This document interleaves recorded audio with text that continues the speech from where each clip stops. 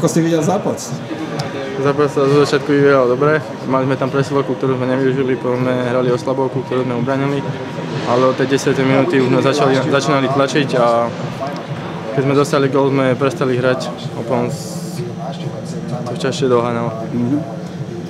Až ten gol Kasanického v polke stretnutia vás akoby nakopol, tam chýbalo strašne veľa kúraže v tej prvej polovici zápasu. Uh, dá sa na tom výkone z druhej tretiny, že fakt by ste išli aj do tých súbojov a boli ste odvážnejší, dá sa na tom stavať aj v ďalších zápasoch? Tak určite, keď sme, to cestu? Tak určite, keď sme dali ten gol, tak sme sa nakopli viacej, že sa dá s tým hrať, sme sa presvedčili o tom, že dá sa im dať gol. A aj oni určite dostali voľaké krča, alebo neviem, nejaké chyby robili, keď dostali ten gol.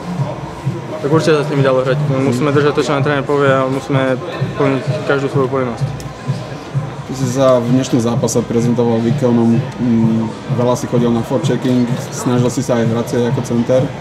Si so svojím výkonom takto spokojný? Spokojne sa nedá povedať, ale tak určite sa dá zahrať lepšie, musíme držať tie svoje povinnosti, čo nám tréner Mal ten zápas nejakú špecifickú chuť pre teba, alebo ty si hral minulý rok švedskú juniorku? Tak určite uh, dorast, ale juniorku, ale určite to malo pre mňa špecifickú úlohu, že, som, že to boli chalani, s ktorými budem aj túto sezónu hrávať proti ním a nejakí tí spoluhráči aj budúcu sezónu, takže určite chcel som vyhrať. Mm-hmm.